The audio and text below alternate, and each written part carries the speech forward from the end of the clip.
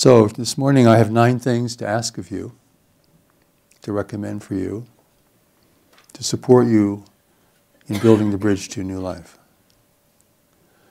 These are not things simply to think about once in a while, but really to adopt or to put into motion. Maybe not all at once, but certainly at some point they all have to become in motion.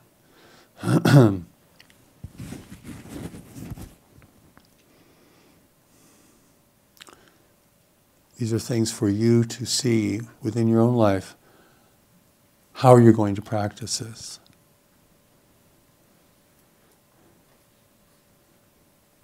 You know, when I meet people of different faith traditions, if I have an opportunity to speak with them, I always want to find out what they practice, not what they believe. I don't care what they believe, really. It, it's important in the sense that it determines their behavior and their perception to a large extent, but I really want to know what they practice. Because that's where the rubber meets the road. That's what really matters. It's what people do, not what they think about doing. So, the first thing I ask of you is to be really open to what happens next.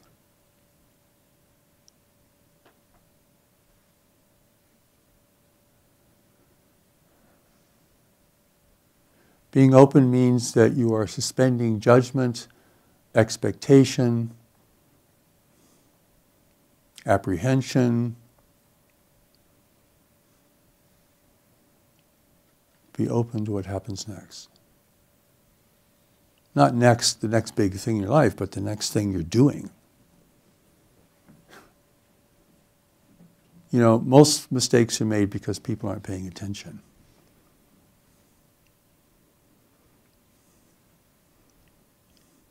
People are not aware of where they are and what they're doing. Their mind is not on where they are and what they're doing. Their mind is somewhere else. And they may not even know where their mind is, but it's not there.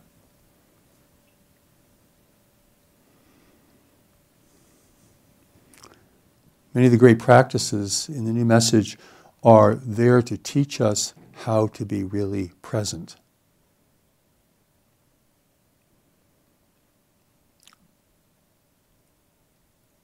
To know what we're doing so eventually we can do what we know.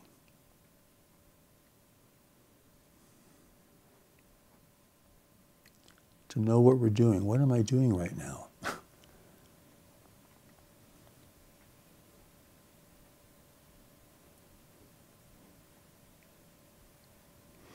Getting ready to come here this morning, I probably had to follow 20 different steps from where I was when I woke up to being here now. Maybe 30 steps, okay? But how often do you not calculate those steps and have to repeat them because they're out of sequence? Oops, I forgot that. Oops, I forgot this. Oops, I didn't do that because your mind is not on what you're doing. Really. Sufficiently. Does anyone have this experience? Can't just be just me. That's good. I'm relieved.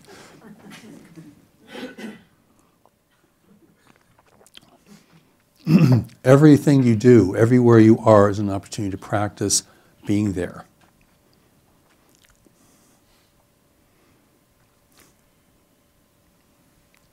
Don't have to think of it as a spiritual practice. It's just being able to be engaged with what's happening.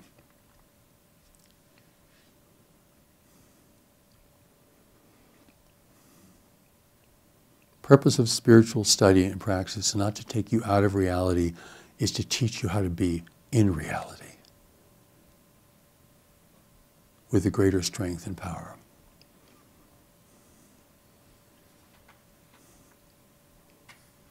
So much spiritual teaching out there just takes people away and to and stimulates their fantasies about themselves and the world make them ever more incapable of being in reality ever less functional, responsive, courageous, effective. The new message, uh, we think of it as functional spirituality because it's totally geared to, bring you back or to bring you here with the strength of knowledge and with whatever wisdom you have gained to serve you. Serve the world, which is the purpose of all this. You can't be afraid or in avoidance or hiding out or trying to live some kind of alternative reality or create your own reality. This is just another version of being separate. I have my own reality.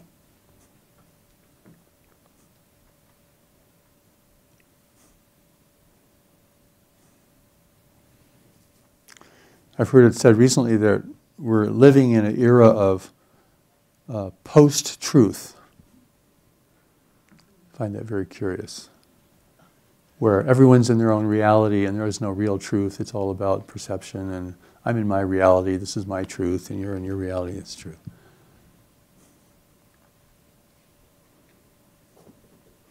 So, what is reality then? I say, this is my current definition of reality reality is everything that's happening beyond your thoughts and beliefs. Your thoughts and beliefs are merely interpretive.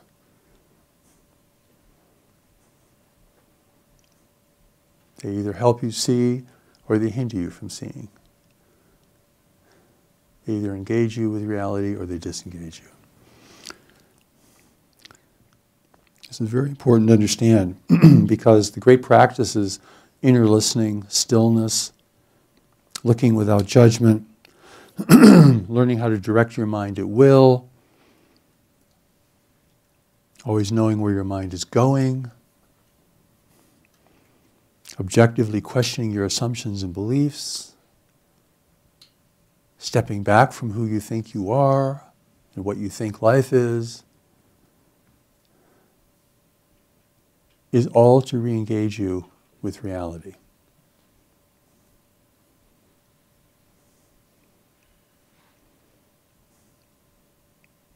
Hmm.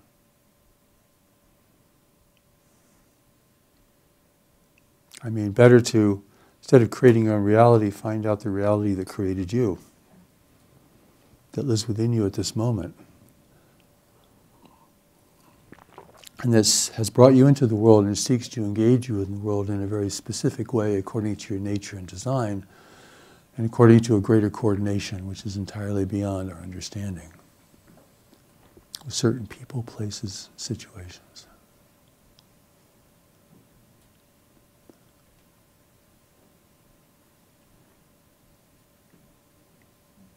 I mean, if you can't engage with reality, then you can't be guided.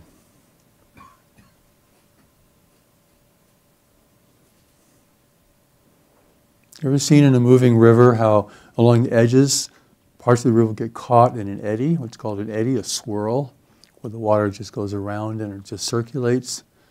Let's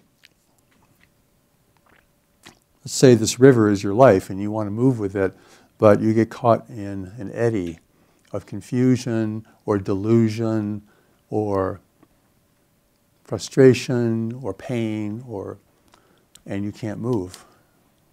Or you're trapped by your circumstances by the expectations of others and certainly beyond that poverty and degradation which is really a serious matter. Or you're moving. My life is moving but you're like this. You're not going with where your life is meant to go. And this is, this is the state of probably most people in the world today. Either circumstantially or just because they, they haven't really made an engagement with life yet. It calls something out of them that's bigger than their ideas.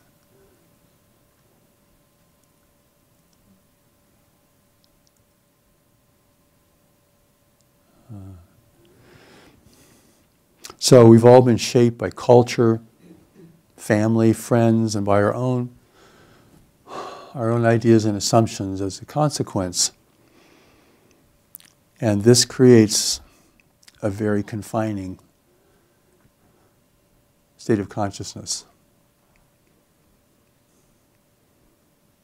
And from that, we look out and we try to understand the world. We're in our little blockhouse, right? Because the mind is like, you know, cement. Even though cement has to be mixed constantly to be viscous and usable. But if it's let to sit, it dries and you can't do anything with it. The mind is kind of like this. If it isn't being stirred and activated, rehabilitated, regenerated, it becomes hardened and self defensive.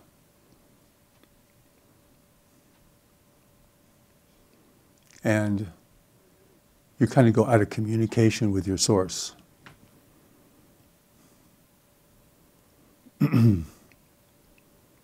Now you become afraid of knowledge. Now you become afraid of freedom. Now you become afraid of the mystery because your whole life is set upon a certain set of notions or ideas.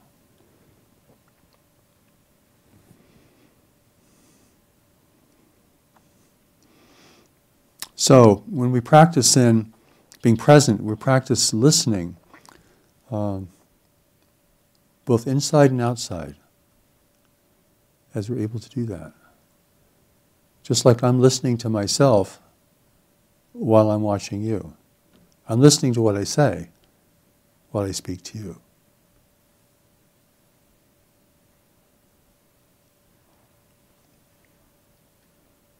In that way, I don't say things I don't mean to say. I don't say things that shouldn't be said. Um, I don't misrepresent myself.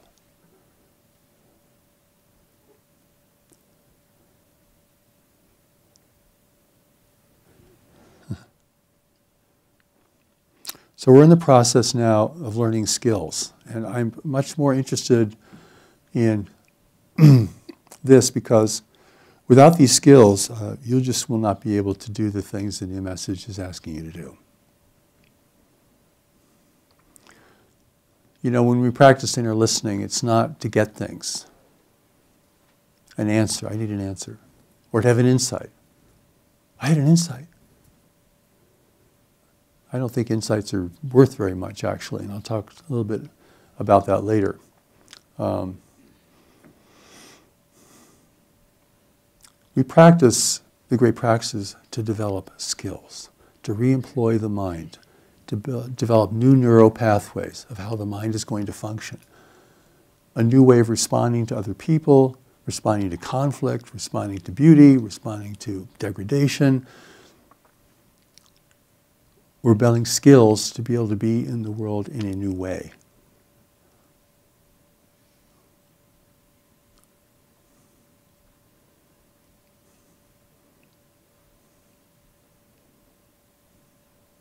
And we're doing this in such a way that we become immortal beings in the world to be of service rather than being in the world with some vague notion of our own that we have a greater life somewhere somehow, above and beyond this existence.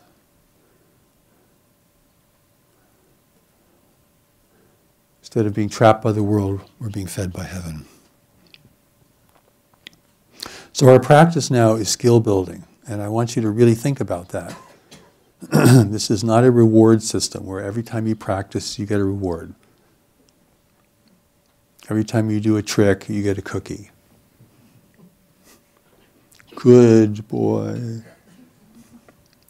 No, we're practicing to become strong and competent. There's no emphasis on mastery here. The emphasis on competence, functionality. In fact, the new message says there are no masters living in the world. The mastery is beyond anything that can be achieved here. So let's take that out of the picture.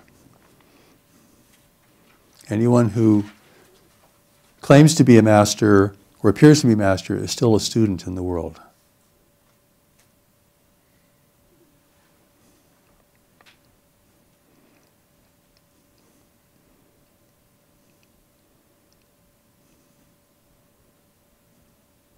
So many things have to be taken out of the picture for the way to become clear, you see. Things that people fixate upon or, or think are very, very important.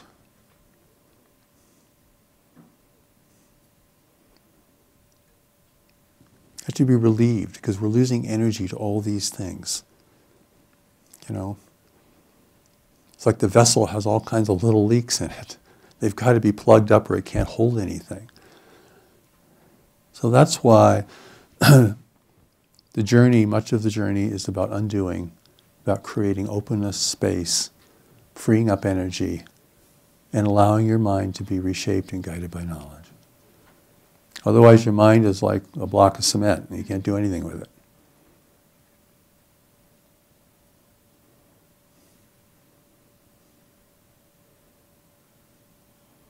Yeah. So we can do the three stages of knowing. Said very simply, and this is an oversimplification, but there are three stages of knowing. One is recognizing the sign or the impulse. The sign may be on the outside, the impulse may be on the inside. You recognize something that stands really stands out. It's not ordinary, it's not your usual kind of thing to recognize. Many people experience this. They have moments of recognition, but they don't go any further with it. Next is to contemplate the sign or impulse unless action is required in the moment.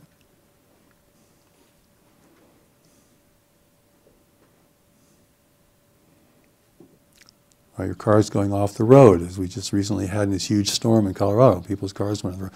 Oh, my car's going off the road. I can't stop and contemplate this. I've got to go into action immediately.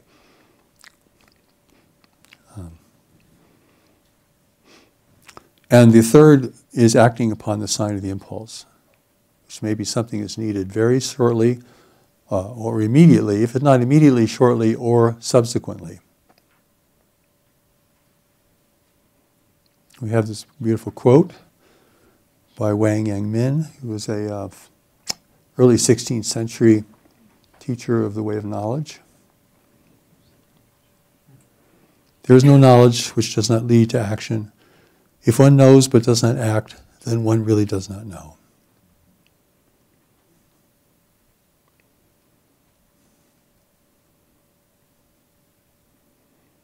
So until we take this thing that you have recognized and have been contemplating uh, to action, then it's not yet really knowledge. Because it's what you do in the end that really matters. I say three things there's what you do, there's what you serve, and why you serve. In the end, are the three things that really matter. Awareness that does not lead to action is still circulating in your mind. It has not come into reality yet to be effect, fully effective there.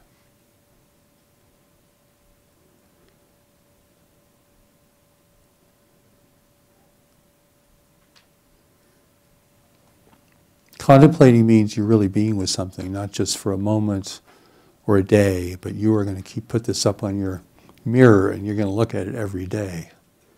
you're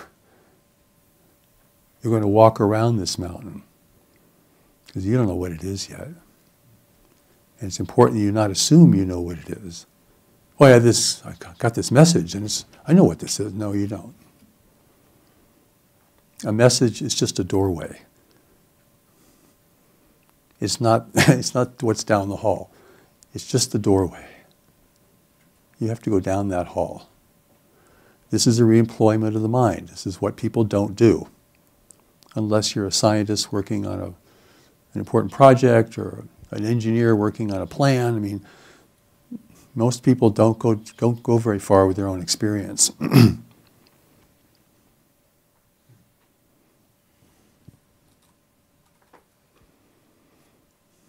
Knowledge works through your experience. It can work through ideas, but the ideas have to generate experience. A beautiful idea, what's that worth if it doesn't generate real experience, which then generates real action in the world? A change of heart, doing something you've never done before, shifting gears in how you respond to somebody from the way you used to respond to people like that.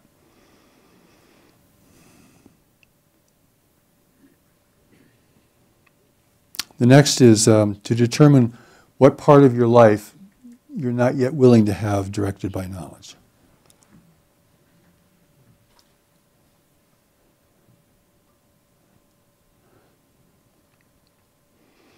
At any given moment, you have limits and boundaries as to what you're willing to gamble or to bring into this light.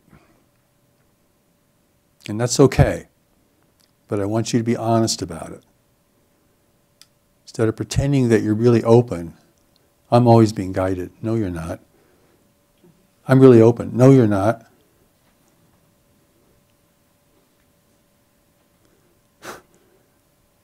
To be really honest about the range of your life that you're willing to, be, to have to be reshaped by knowledge. Really going to be open about that and know what areas you say, well, I don't think I can go there quite yet. Eventually, you're going to have to go there if you want to be free. But knowing your limits here is very important, and you won't pretend that you're really more open than you are, and it'll give you a lot of pause, and it will also maybe tell you why knowledge has not been responding to your question.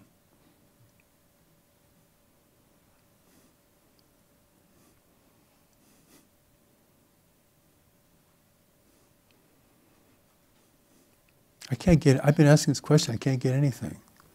Well,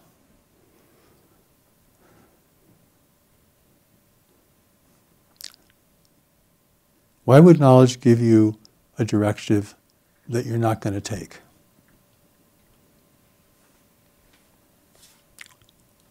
Even if you knew you need to take it but were not able, that would just create more confusion and crisis for you. So, know your limits. Next, follow those things you already know to do. Listen to your self talk. Listen to what you say to yourself. Oh, I know I need to do this. I know I need to do that. But you're not doing it. So, why would anything new be given to you if you're not already doing what you know to do?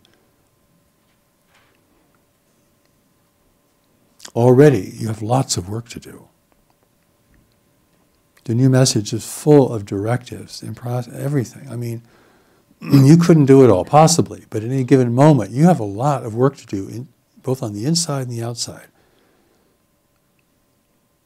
There shouldn't be any wondering what to do.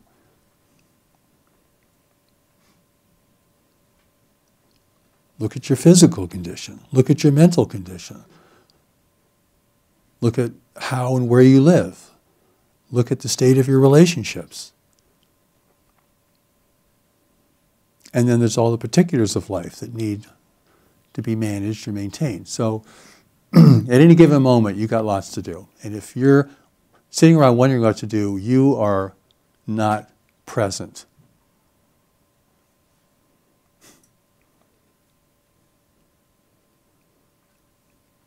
And if you're not doing those things, then you can ask for the moon, but you know,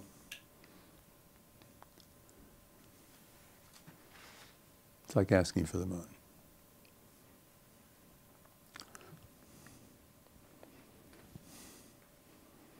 We're given the idea of the four pillars of life pillar of relationships, the pillar of work and providership, the pillar of health, and the pillar of spiritual development. All to be built, all to be sustained, because your life is only as stable as the weakest pillar in your life. And the beauty of that whole balance, that four pillars, like the four legs of a table, is that is the antidote to eccentricity and self-obsession. At any given moment, one pillar is going to require more effort than the others, but they all have to be maintained. And this takes a lot of work. And this engages your mind. And this keeps you stable in the world.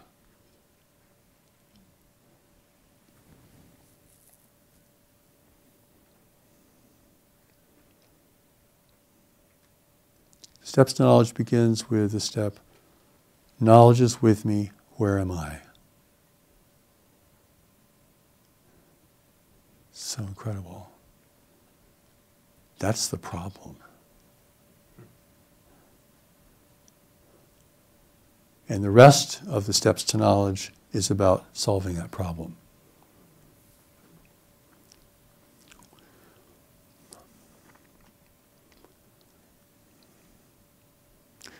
You should never be waiting for guidance if you're doing what you know to be doing. The next thing will come to you when you are ready. When you've completed these set of tasks or brought these things in order, something else will come to you to, to do, or to undo, or to change, or to repair, or to resolve. There's no waiting for guidance. That's,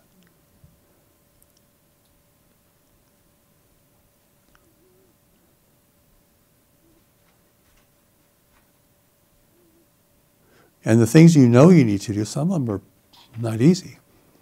It's going to take some time. You're going to have to get to work and sustain something.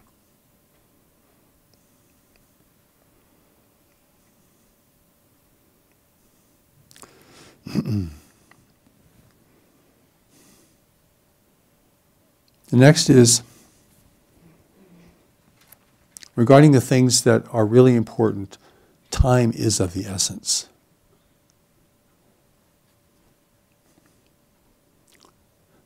It is really important.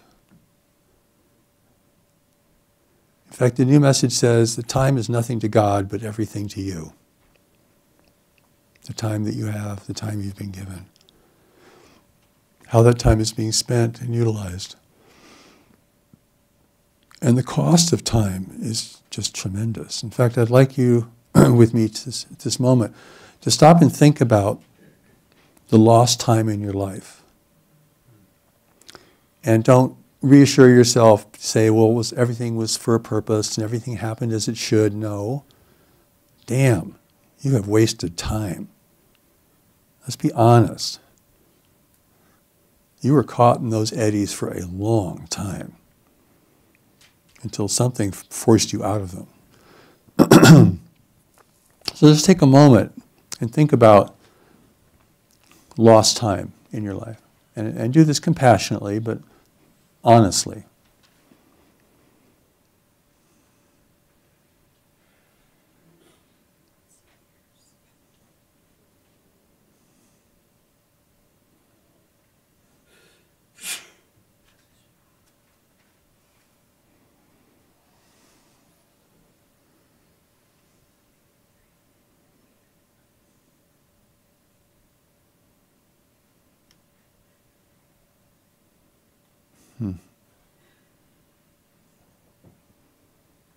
I'll let you continue that on your own, um, but it's really important because this is part of what motivates you to be unwilling to waste time. I mean, certain relaxation and being carefree, and times for that, certainly. But is your life really engaged? Or are you falling behind, losing connections?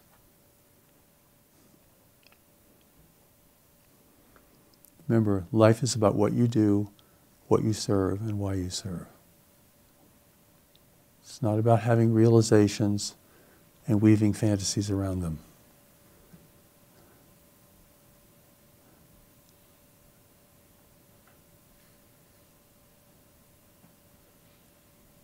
You know, the new message is here to wake us up, not give us a better dream.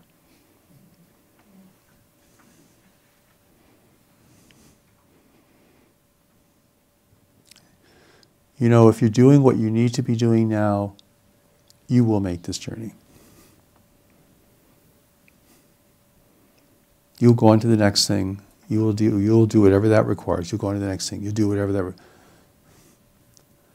You'll make the journey. And as you do so, you'll be increasingly unwilling to waste time. Like one of the practices uh, I mentioned above um, is knowing where your mind is going. You won't be able to do that all the time, but you start by knowing where your mind is going as much as you can remember it. Because that's time.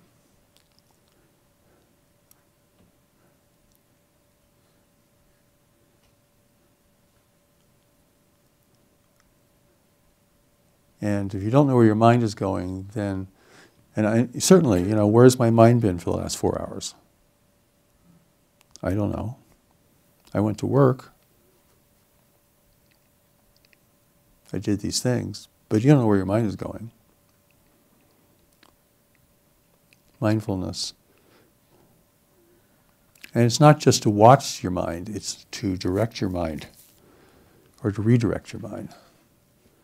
Otherwise, you're going wherever it's going instead of the other way around.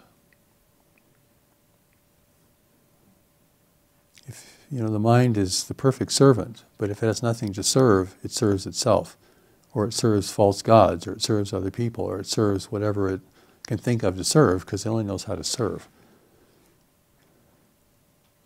It may even think it's the master.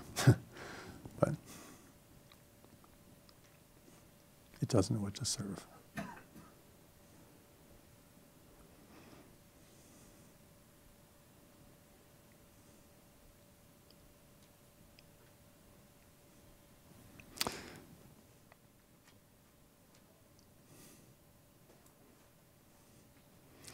So, the next thing I ask of you is Are you ready to take the next step?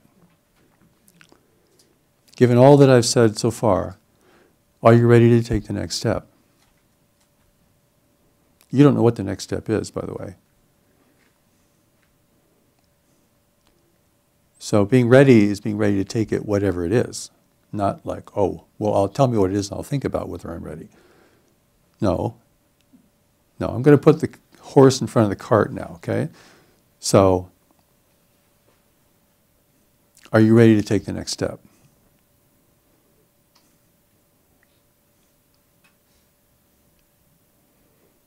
It's a strong yes, a weak yes. I don't know, a strong no, or a weak no. That's the range of your choices. Or you can say, I don't want to deal with this. Could, that's, I can add that to the range. I'm too busy.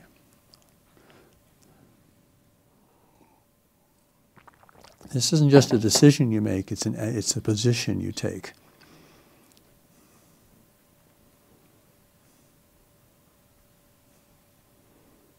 When you realize how hopeless your own management of your life has been,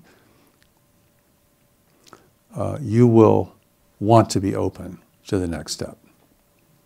If the next step is the only thing you can really do in this journey, you can't rush ahead and be trying to contemplate, you know, where you should be, or where you may be, or how it may turn out, then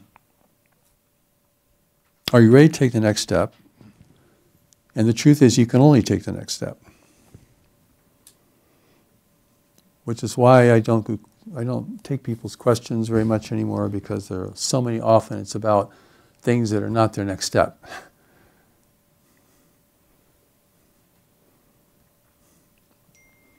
Um, it's not functional, it's not helpful.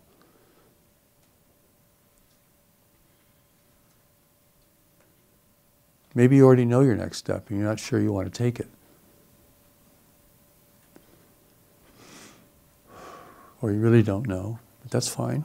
It's fine if you don't know. It's just, are you open to knowing? Do you need to know? See, knowledge arises according to need. I want you to really get this. So the less you are engaged with your real needs, the less you have that's going to propel a response from knowledge.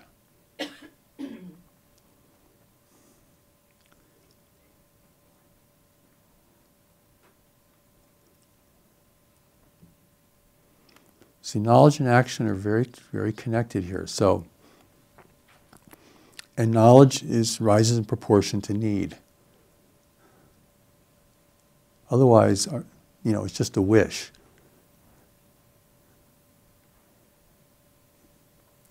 Will I ever find someone who will love me? That's not a need. That's a wish. It has nothing to do with whether you're ready for such a relationship. or if even you're even a, a worthy candidate. Or if you, your life is too broken down to um, even participate in something like that. That's another story. But the thing, the question is, are you ready to take the next step? Because you can only take the next step. Meanwhile, knowledge is working around the clock while you sleep, while you eat, while you're intoxicated, wherever you are, it's working, slowly reshaping you.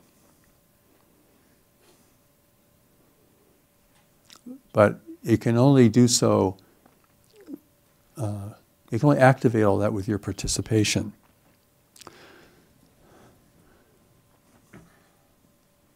So, regarding readiness, do not take too much time to do what is before you now to do.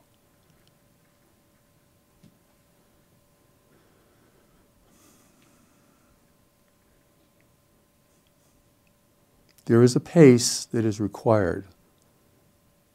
It is not too fast or too slow, but it's probably not a pace you may be comfortable with because you're not used to it. It's not too hard, you're just not used to it.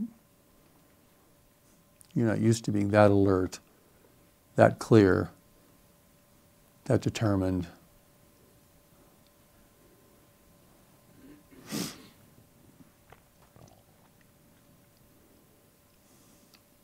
Even little things will require, will you'll lose energy to them if they're not resolved. You want to get the little things done so you're available to the bigger things.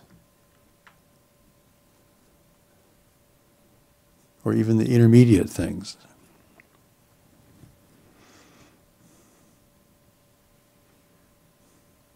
Do not take too much time to do what you know you must do.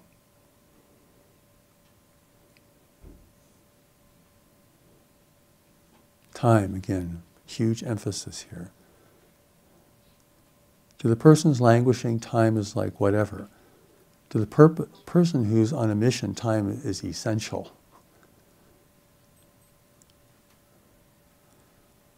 You were meant to be here on a mission, not to languish in time. You've already languished in time.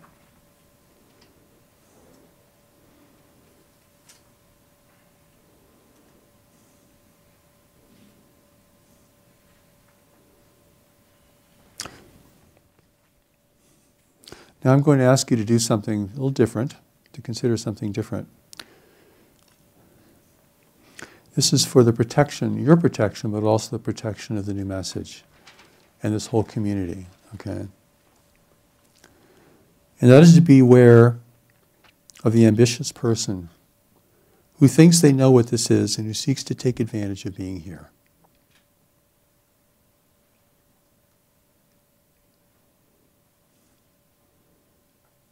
Such a person, well, people like this have already come through here. Uh, such a person will definitely be coming here as this grows in power and recognition. I've met so many of these people in my life, it's amazing. Oh, yes, I've studied metaphysics for 20 years. I've worked with the masters. I mean, I'm, I'm at the third level, whatever that is. I meditate, you know, hours every day. I'm, steps to knowledge, yeah, this is, this is nothing. What is this?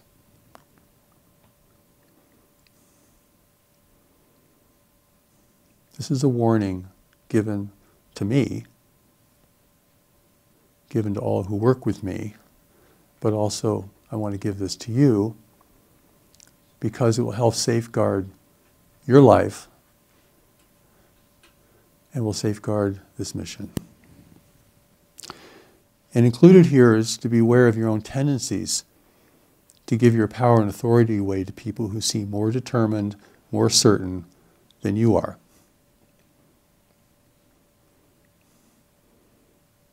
To let them just kind of take over, lead me.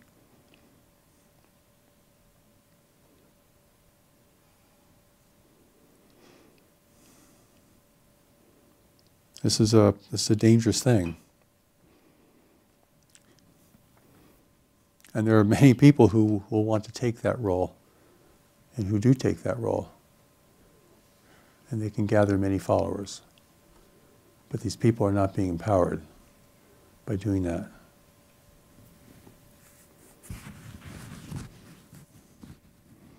My intention is to keep you in the driver's seat, not to put you on the bus.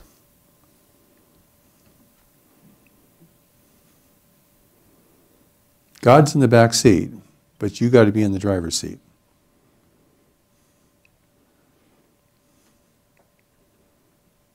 Which means you have to become competent, careful, responsible, courageous. I mean, you have to, all these qualities that go along with living a new life reality have to come into play here. Or you just don't want to take the helm of your own life. Just give it over. They'll take me there. Jesus will take me there. This teacher will take me there.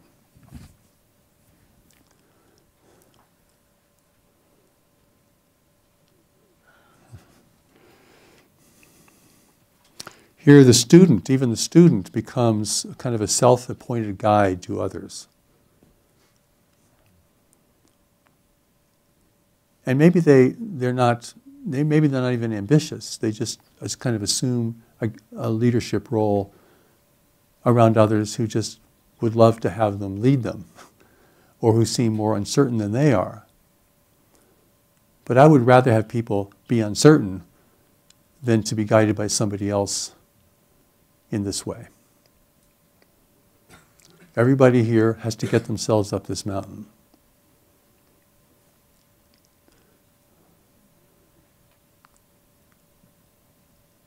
I can fill your backpack with useful things, but you have to get yourself up this mountain.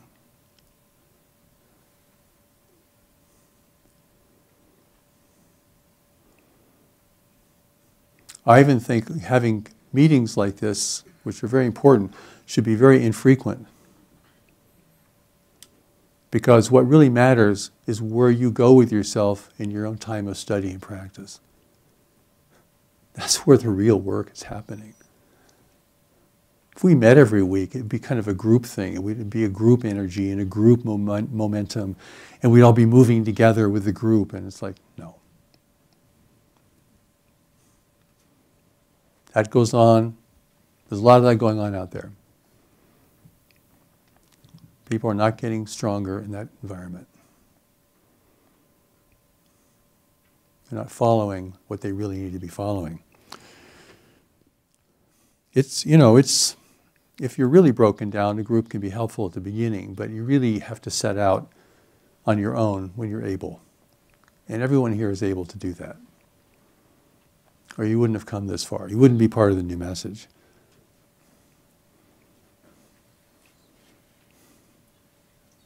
Y'all with me?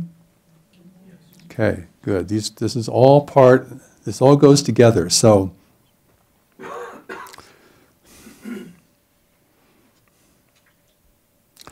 The last thing I want to ask of you is to be is to ask knowledge or pray for knowledge to show you what you need to be aware of out in the world.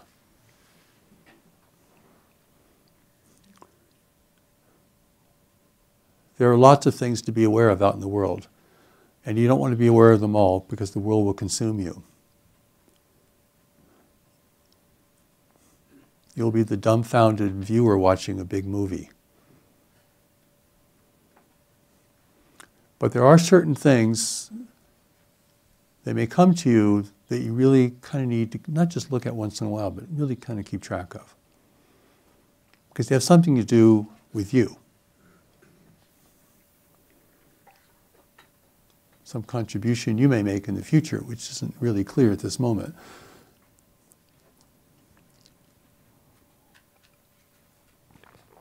The new message prepares you for a role, but doesn't tell you what it is.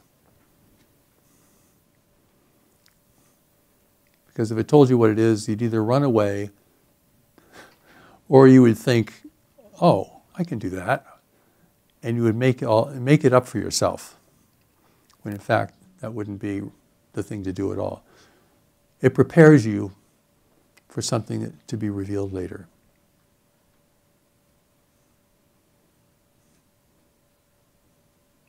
Welcome to the way of knowledge.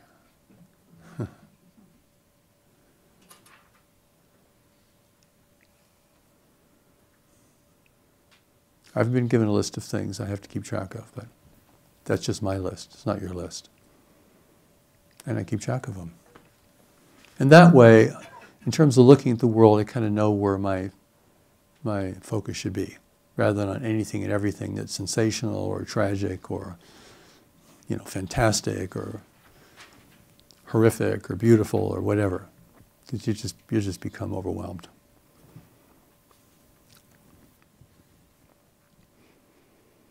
These are the things I, I need you to do for you, for all of us, because you're not only working for yourself now, for those who sent you into the world, who are counting on you to make progress here.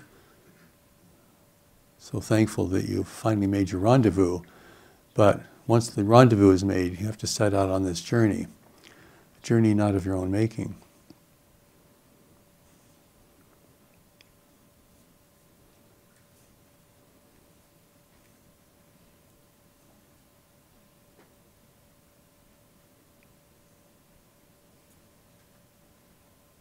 And some things you have to understand before you do. Like changing the plumbing in your house or anything else of that nature. Uh, but many other things, the more essential things, you have to do and then understand.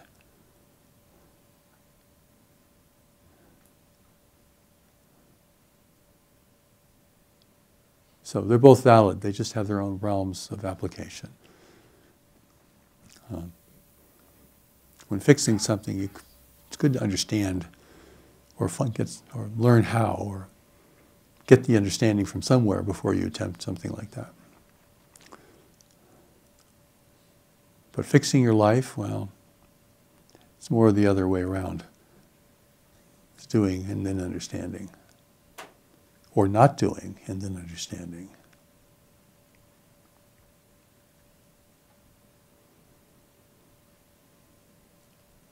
So I'm going to leave you with these nine things. I've given this to you not only for all of you who are gathered with me this morning, but for all who will hear this in the future, for all who may find this in distant times to come. It's part of the record of my teaching. This is relevant to people who are on this journey or a journey similar to this.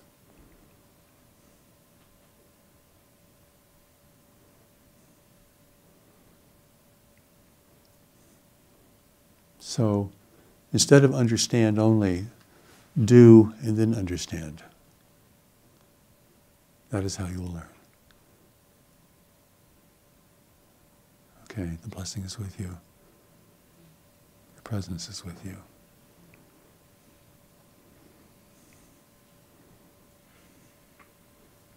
You're not alone. Nasi Novare Coram.